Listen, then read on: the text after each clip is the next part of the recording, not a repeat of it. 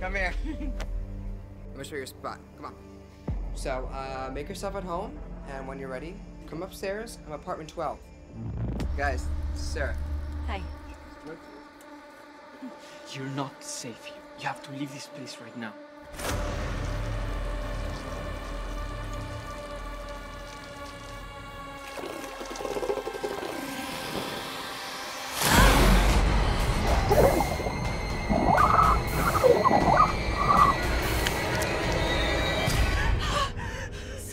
You okay?